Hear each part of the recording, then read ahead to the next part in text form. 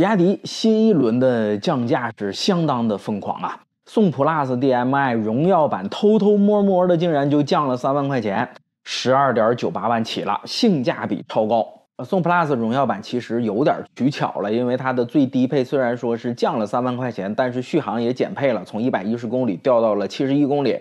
这和此前宋 Pro 的战略是一样的，原来的低配一百一十公里的那个旗舰型变成了十三点九八万。降了两万块钱，跟其他的车型差的不多。但是呢，新增的七十一公里的豪华型啊，是拉低了这个车的入门的价格，并且性价比也不算是很低。那从配置上来看，七十一公里这个版本啊，除了续航缩水，电池能量从十八点三度降到了十二点九度，另外没有三百六十度的全景影像。除此之外，跟一百一十公里的旗舰型是没有区别的。这对手头比较紧的朋友来说是个好事儿，毕竟能够少花钱，而且低配的这个版本也不是特别的差，还是值得入手的。